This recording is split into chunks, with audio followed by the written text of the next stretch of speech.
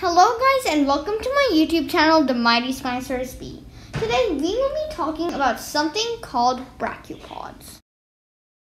Brachiopods are bottom-dwelling marine animals and are considered and called living fossils. Brachiopods first appeared in rocks dating all the way back to 541 million years ago However, they went extinct at the end of the Permian period, which is about 250 million years ago. However, some survived under the water.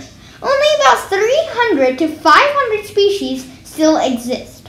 Brachiopods mainly live in shallow water, but some species have been found to live in depths of over a mile deep. There are two main groups of brachiopods, the articulate and inarticulate groups. The articulate brachiopods have tooth hinges and simple openings and closing muscles. Inarticulate brachiopods, however, have untoothed hinges and a more complex system of muscles. Brachiopods' lifespan usually ranges from about 3 to 30 years. Brachiopods are things called suspension feeders, which means that they extract foods such as plankton, dead organic matter, and more. Then they take those organisms out of water, which they pump in and out of their shells.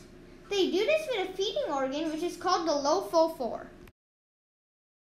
Brachiopods have no vertebrae.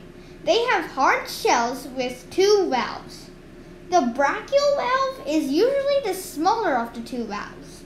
They also have a beak that sticks out along the hinge line.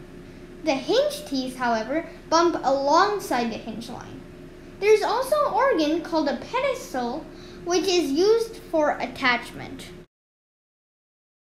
Hello guys and thank you for watching this YouTube video. Don't forget to like, subscribe and comment on the video.